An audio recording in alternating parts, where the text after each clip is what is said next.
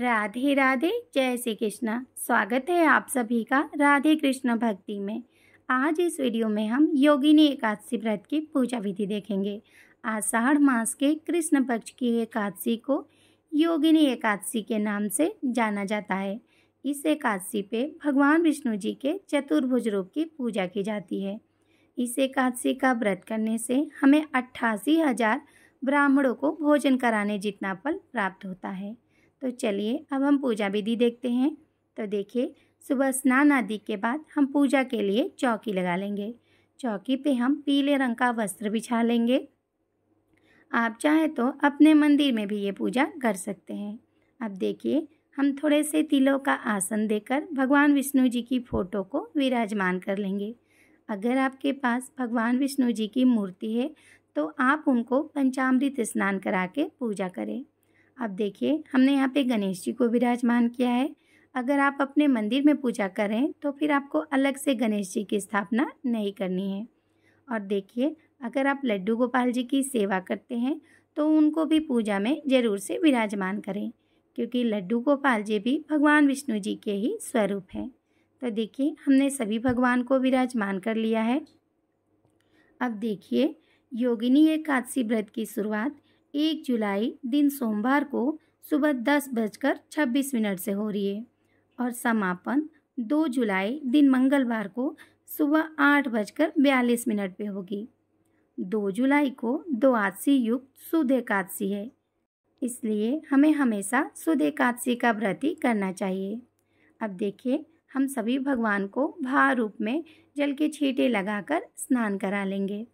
इसके बाद से हम पूजा में सबसे पहले दीपक जलाएँगे। अब हम पूजा शुरू करते हैं। अब हम सबसे पहले गणेश जी का पूजन करेंगे। तो हम गणेश जी को वस्त्र रूपी कलावा अर्पित करेंगे। इसके बाद हम चंदन से तिलक करेंगे, रोली से तिलक करेंगे और हम फूल अर्पित करेंगे। अब देखिए, साथ में हम दीपक का भी पूजन करेंगे। तो हम दीपक को चंदन रोली से तिलक कर देंगे और फूल अर्पित कर देंगे।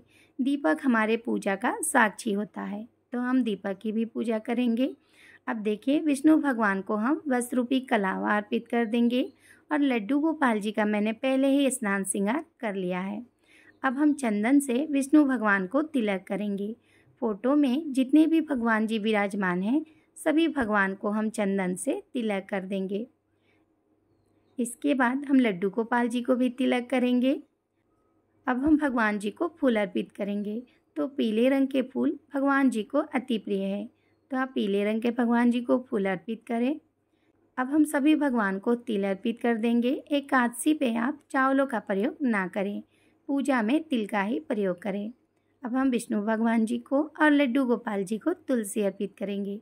भगवान विष्णु जी को तुलसी अति प्रिय है। तो आप भगवान विष्णु जी को तुलसी ज़रूर से अर्पित करें। अब देखिए, मैं यहाँ पे गौ माता को विराजमान कर रही हूँ, क्योंकि हमारे लड्डू गोपाल जी को गौ माता अति प्रिय है। तो हम गौ माता को लड्डू गोपाल जी के पास विराजमान करके उनकी भी पूजा कर लेंगे। अब हम सभी भगवान को इत्र लगाएँगे। भगवान जी को इत्र अति प्रिय होता है। तो आप पूजा में इत्र का प्रयोग ज़रूर से करें। अब हम धूप दिखाएँगे तो हम गणेश जी को, विष्णु भगवान जी को और लड्डू गोपाल जी को, सभी भगवान जी को हम धूप दिखा देंगे। इसके बाद से हम यथाशक्ति दक्षिणा अर्पित करेंगे ताकि यदि हमारे पूजा में कोई कमी हुई हो तो वो पूरी हो जाए। अब देखिए, हम भगवान को भोग लगाएँगे तो गणेश जी को हम अलग से भोग लगा देंगे और विष्णु भगवान जी को हम तुलसी युक्त भोग अर्पित करेंगे। योगिनी एकादशी पे भगवान विष्णु जी को मिश्री का भोग लगाया जाता है। तो आप भगवान को मिश्री का भोग ज़रूर लगाएँ। साथ में आप कोई भी ऋतु फल का भोग लगा सकते हैं। तो हम भोग लगा देंगे भगवान को। इसके बाद से हम भगवान जी को जल अर्पित कर देंगे। इसके बाद देखिए, हम एक लोटा जल ले लेंगे। हाथ में थोड़े से तिल या फिर फूल लेके हम योगिनी एकादशी व्रत की कथा और महत्तम को पढ़ या फिर सुन लेंगे। तो देखिए, यहाँ पे बुक में योगिनी एकादशी व्रत की कथा लिखी है, उसे हम पढ़ लेंगे। कथा पढ़ने के बाद ये जो हमने हाथ में तिल लिया है, वो हम भगवान के पास अर्पित कर देंगे। तो इस तरह से हम योगिनी एकादशी व्रत की पूजा करेंगे। पूजा के बाद अब हम भगवान की आरती करेंगे। तो मैं यहाँ पे जो दीपक जलाई हूँ, उसी से सभी भगवान की आरती कर रही हूँ।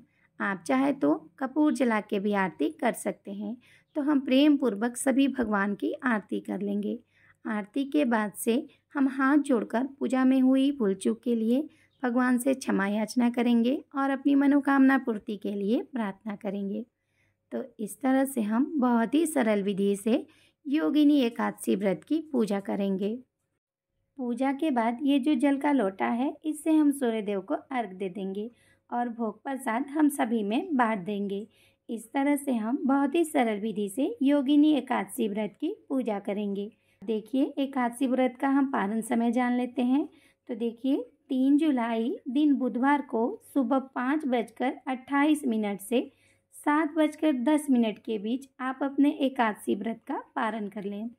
इस दिन द्वादशी तिथि सात बज के दस मिनट के बाद समाप्त हो जाएगी। तो आप इस बीच अपने एकादशी व्रत का पारण ज़रूर से कर लें, क्योंकि द्वादशी तिथि समाप्त होने से पहले हमें अपने एकादशी व्रत का पारण ज़रूर कर लेना चाहिए। तभी हमें एकादशी व्रत करने का पुण्य फल प्राप्त होता है।